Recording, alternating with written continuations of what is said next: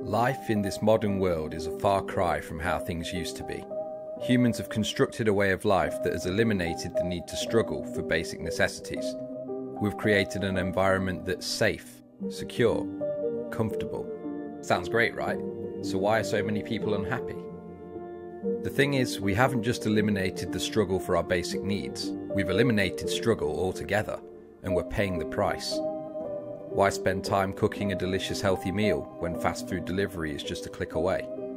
Why work to level your skills in real life when leveling up in game is so much easier? Why put effort into a real, loving relationship when cheap and shameless imitations have been normalised?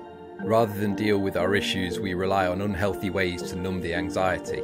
Our lives have become so unfulfilling that we subconsciously seek out excitement and adventure through films, video games, and social media.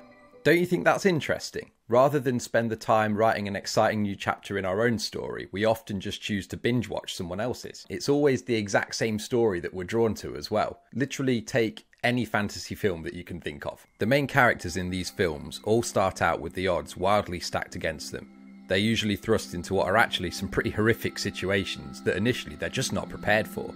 Yet, these situations serve as catalysts for the characters to grow and become the heroes that they need to be and the end result is that through rising to the challenges that face them, they better both themselves and the world around them. And then the film ends, and you realise that all your problems still exist, but it's it's late now, so we'll have to leave them till tomorrow like always. There's a reason why we love heroic storylines. A good hero's arc involves growth, and humans need growth. We need to experience conflict, struggle, and adventure, but we've forgotten how, so we fill up our lives with the junk food equivalent. When I was a kid, I was lucky enough to have parents that didn't allow me to spend all my time glued to a screen. Me and my brothers and sisters were always encouraged to go and spend our time outdoors. And honestly, at the time, I didn't appreciate the good thing that my parents were doing for me. I just wanted to sit around and play on my Xbox or PlayStation all day. But look at that haircut. Mate, what did I know about what was good for me? Now, when I look back, I'm very grateful that my parents raised us that way because I've remembered the lesson. Me and my siblings live pretty normal lives day to day, but we find ways to inject a little bit of adventure now and again.